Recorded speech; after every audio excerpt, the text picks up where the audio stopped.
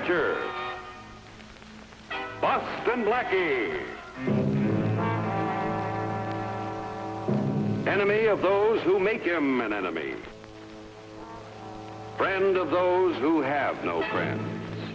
Yes, sir. That's Boston Blackie, and he's quite a guy.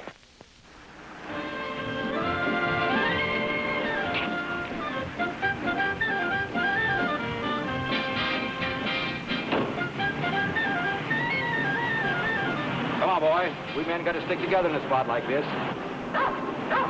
Oh, you coward.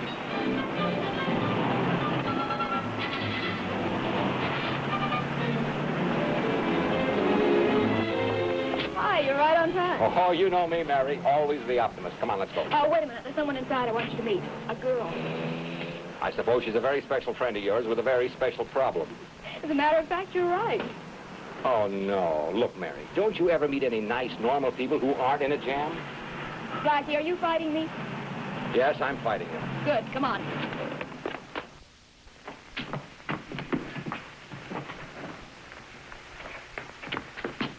Oh, Anne. Anne, this is Boston Blackie. Anne Morgan Blackie. How do you do? How do you do? I hope you can help Anne Blackie. She's one of my favorite people. Tell him what you told me, Anne. This is one of those married situations, Blackie. My ex-husband is giving me a bad time. Frankly, he's got me scared. He calls her on the phone all the time, Blackie, threatening her. And he hangs around where she lives. Last night he was carrying a gun.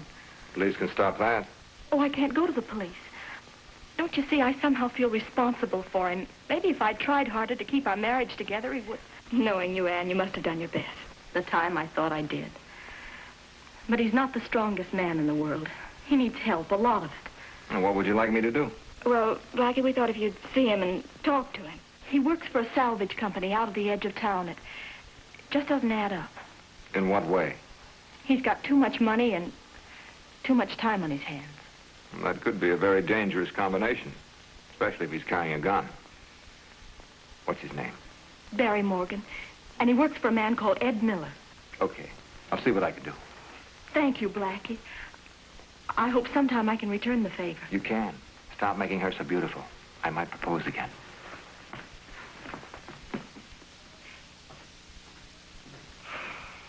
Go to work, Anne.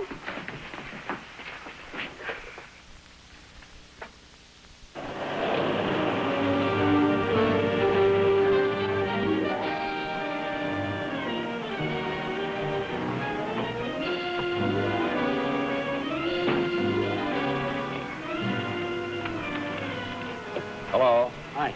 I'm looking for a Barry Morgan. He ain't here. You know where I can find him? Well, he usually hangs out in the lunchroom on the corner. Thanks. Say, uh, you know what these things are? No. Guess I'll never find out. I've been wrapping them for two weeks.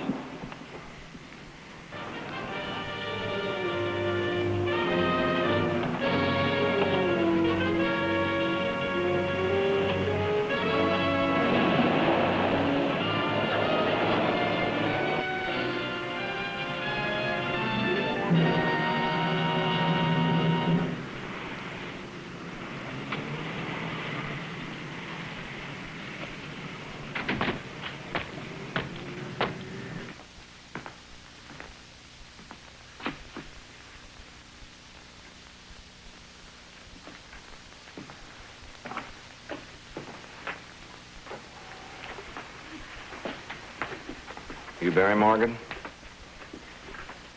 I said, are you Barry Morgan? I heard you. The girl I know says you have too much money and too much time on your hands. She forgot to mention that you had too few manners. What's it to you? Look, can't we put this on a more friendly basis? You're Barry Morgan. I'm Boston Blackie. I know who you are. Ann told me you'd be out. What do you want? For a start, you can take that chip off your shoulder so we can talk. I got nothing to say to you. Fair enough. Don't say anything. Just listen. I told Ann I'd come down here and have a talk to you. All right, you talked. Not enough. I didn't say what I wanted to say. Look, we got off on the wrong foot, so let it go at that. Now, if you resent Ann talking to me about you, you shouldn't. I've heard the words. How about the music? Ann is concerned. Personally, I'd say she has every right to be. I don't know anything about you, but I've been around enough to have seen dozens who weren't any different. You can see them, too, on Visitor's Day at San Quentin. Take a walk, Blackie. Peddle it somewhere else. I know, it's the old story. You saw a chance to make more money than you ever had in your hands before, a shortcut. Believe me, Barry, those shortcuts only head in one direction, all of them. You like talking to yourself? Well, maybe there was a little glamour thrown in, too. Brackets, big money, guns. More exciting than 40 bucks a week behind the counter or breaking your back loading a truck. There's only one thing wrong with it, Barry. It's a past. There's no future. Look, mister, take a walk. I told you before. This time, I mean it. You're acting just like every other two-bit punk who ever wound up on a police blotter. Don't call me a two-bit punk. Sit down. Listen some more. If You don't want to do anything to help yourself. The least you can do is give Anna a break. I don't know you two kids, but she looks like a pretty...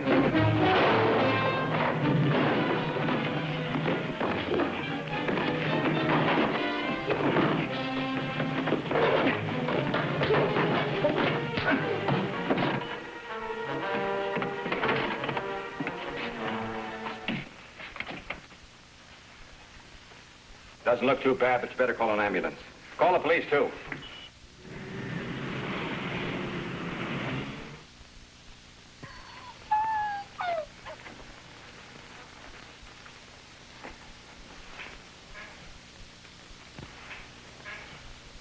And I'm afraid I let you down. I go out and have a talk with Barry and try to straighten him out. Wind up being responsible for his being in jail. Oh, you certainly can't blame yourself for that, Blackie. Sorry I can't let you speak with your husband, miss. What happened? He's out on bond. Vincent Armstead appeared for him almost before the kid was booked for assault. Well, he's the most expensive criminal lawyer in town. How can you afford to hire him and get him down here at 7 o'clock in the morning? The boy has connections. Bail was put up by Eddie Miller. That's Barry's boss. And what about Miller? Well, he's supposed to be a salvage dealer. Supposed to be? Well, we don't know for sure, but sometimes things are salvaged without the consent and knowledge of the owner. What the inspector means is he suspects Miller as being a fence for a gang of car strippers. Car strippers, trucks, construction machinery, anything that isn't bolted down. But if you suspect this, how can Miller continue to operate? He's a clever guy. He does enough legitimate business to cover the other. We can't make him account for every hubcap and engine block in his warehouse. See, that's where Barry and his gun fit into the picture. He's their muscle man. Sooner or later, we'll nail Mr. Miller. It takes time to build a case against men like that. What happens to Barry in the meantime? Well, if he follows the pattern, he gets in deeper and deeper. He now has an assault case over his head. Don't worry, Anne. Blackie will think of something. Won't you? Oh, oh, don't look at me. I tried and I struck out. Look, I'm no good for the kid. If it wasn't for me, uh, I, he probably wouldn't be up on an assault charge. I'm not running a reform school, and even if I was, I wouldn't want to Barry Morgan. Well, you... you think I should? What I think isn't important. What do you think? Okay, I'll leave it up to Whitey. What do you think? Now, stop acting as if you were my conscience. All right, I'll go see Miller. Maybe I can help him. Hey, Blackie, that was an interesting debate you had with you.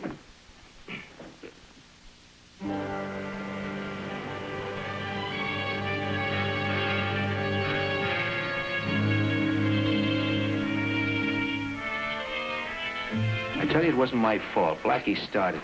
What do you want me to do, get pushed around? Anytime Boston Blackie wants to push you around, get pushed. I ain't gonna let Shut up. Vic, I'll handle this. You go on outside for a little while, will you?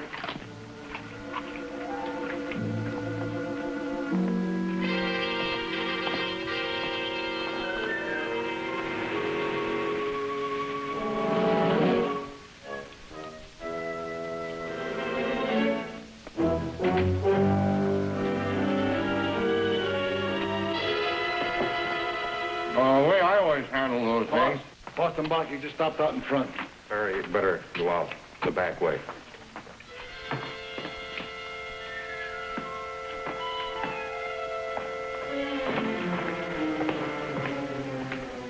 Oh, hello, Blackie. I've been wanting to meet you. Sit down. You Eddie Miller? Have a carrot. No, thanks. Uh, good for the eyes. Oh, oh. Can't afford to take no chances. Bad luck. I see what you mean. I want to talk to you about Barry Morgan. I'm worried about that boy. These youngsters today, they're different than when I was a kid. When I was a boy, when I was 14 years old, I had my own junk cart. Married when I was 18. Here. my wife and kids. Been married 34 years. Fine family. Uh, Vic, uh, sit down. You make Blackie nervous. Oh, well, pass them around. Ain't you got no manners? Take, What about Barry Morgan? uh, you know, why should a boy like that carry a gun? Oh, I could guess. I take him in here and give him a job. No, no, no, no, not three on a match. That's bad luck. Uh, after all, I... I'm just a small businessman, but I need a helper now and then, you know. I can understand that. I like the boy. Sure, he's wild, but he's straightened out after a while if he follows my example. 34 years I've been married. I don't like to brag about my family, but three daughters I got. And if they'd ever miss going to church on Sunday, I'd tan them. Somehow that doesn't send me. I don't understand you. All I did was take the boy in and give him a job. You said that. Now look, I'm interested in Barry. And I wouldn't like to see the boy get into any more trouble. Well, I certainly hope he don't. I want to find him and tell him so. Fine, you do that. We'll probably see each other again. I like family men, and I like visiting with them. Especially when their boys carry guns. and Get into shooting scrapes. Uh, Blackie, uh, you got me all wrong. It could be. I'll check on it.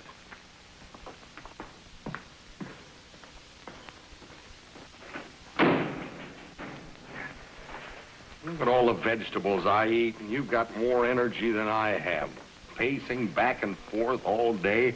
What you gonna do about Blackie? I got a theory. It's better to get slapped than it is to get kicked in the head. What does that mean? Blackie just slapped me. If I slap back, I'll get kicked in the head. You gonna have him snoop around? You talk like you got rocks in your head. Blackie ain't interested in me. He's worried about the kid. So cut the kid loose. We don't need him. There's a hundred other guys. Huh. Supposing the kid gets mad and starts to talk. I'd shut up his mouth for him. Ain't it better to shut his mouth before he opens it? You know, these onions, they're not as good as they used to be.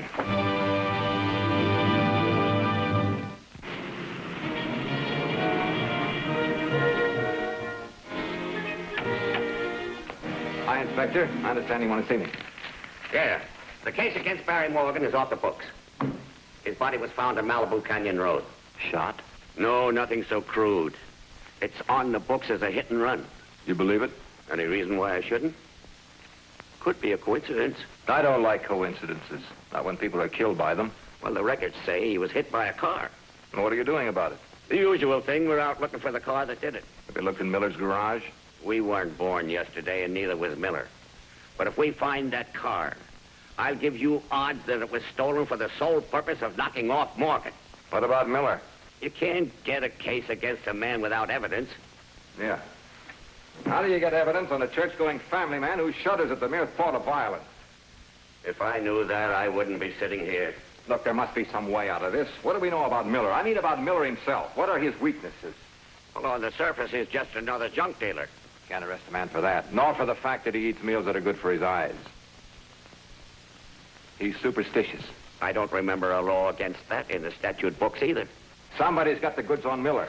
And it's Miller himself. Now, if we can't get the evidence, we'll make Miller get the evidence for us. And what do you propose doing about that? I said he was superstitious.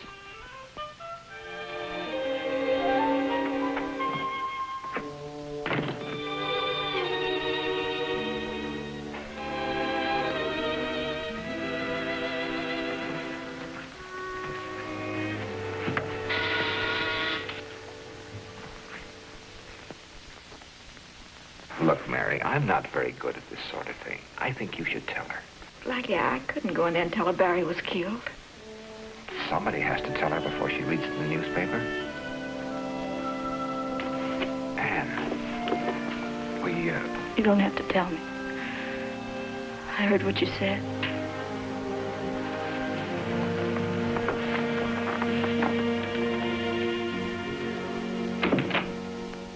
It was an accident, Anne think it was an accident, Anne. We're not sure. We've got some ideas. We'll need your help. All right. I'd like to have a picture of Barry.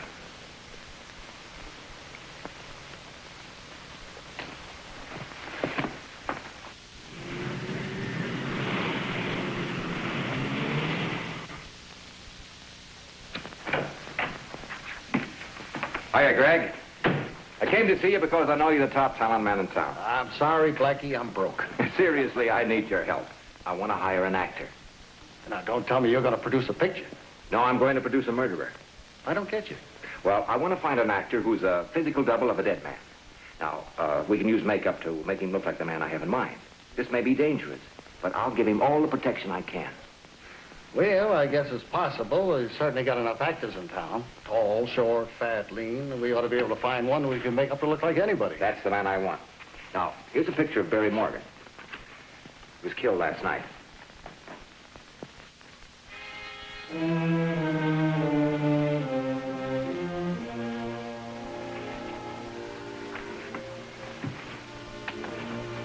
Well, what do you think? It's impossible. But I'll do it. Of course, you know this might be dangerous. I think I'll enjoy it. I just want you to know what you're letting yourself in for. You'll be guarded at all times, but you never can tell what a killer might do. Don't worry. I always wanted to play cops and robbers anyway. Okay, it's a deal. Do I go to work? You do.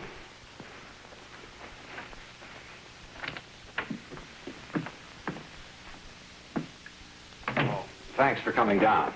I am just stand here and tell us when he begins to look like Barry.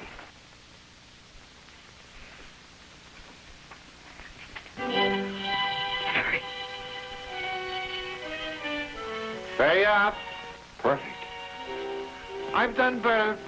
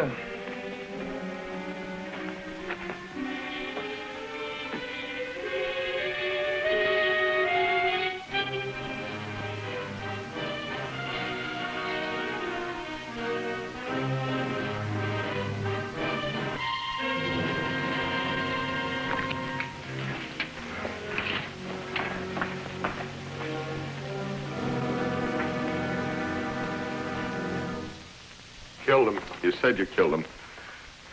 Barry? Sure I killed him. You did. You said you did. Don't just sit there. Tell me you killed Barry Morgan. You know it. You, you didn't make no mistakes. I don't make them kind of mistakes. No. No, you don't. Hey, what's the matter with you? Jim's lunch counter. Go on over there. What for? Do as I tell you. Go on over there, take a look at the guy behind the counter, and then come on back.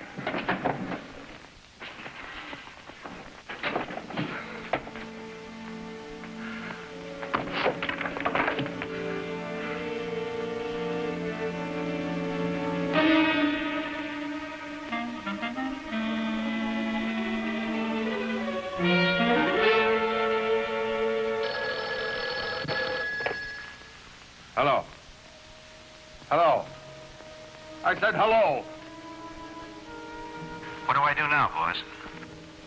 Who is this? Barry, who do you think?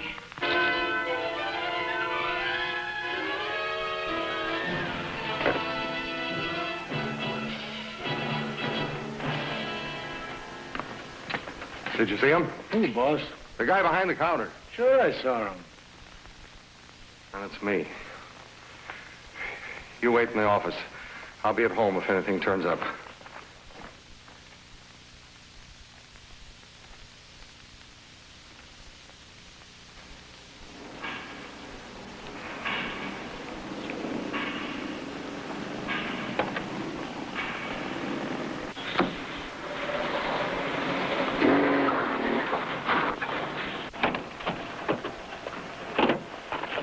Don't you watch where you're going?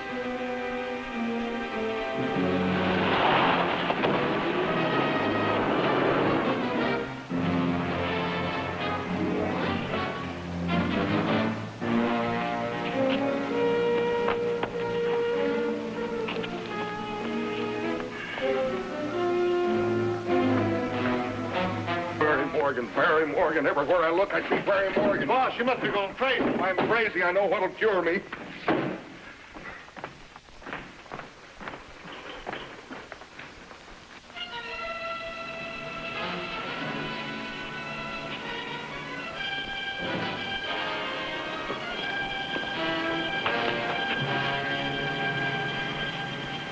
What did I tell you? There he is again.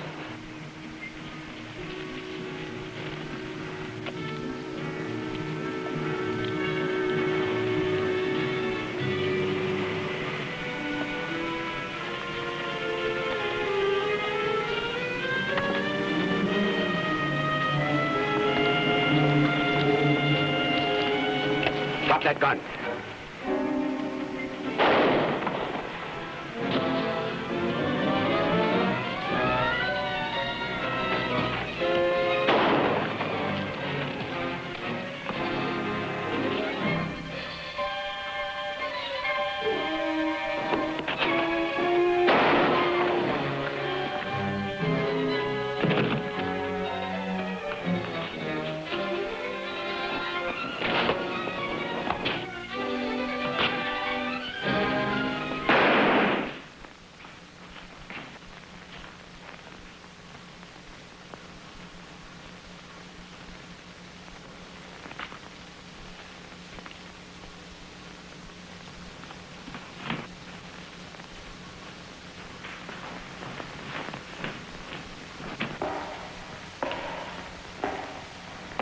Barry! Barry!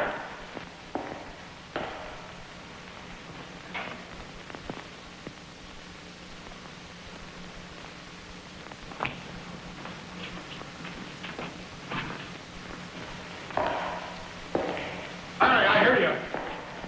I hear you walking. Where are you, Barry? Barry!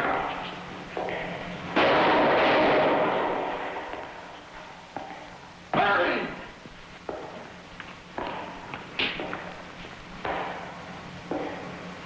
Barry, come on, I know you're here. I know you're here, Barry. Come on out. Barry! Barry!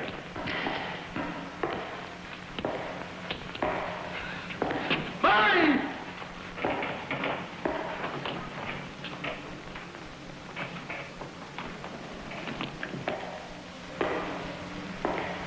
Barry, come on out! Barry! Barry, stay away from me! Stay away from me, Barry! Barry! Barry!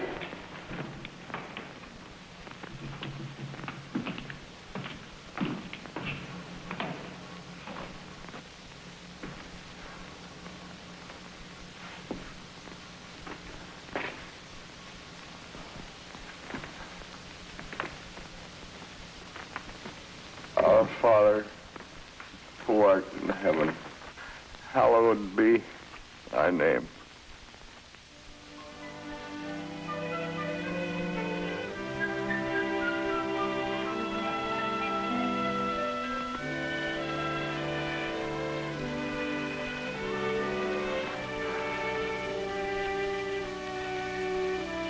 I, I, I forgot the rest.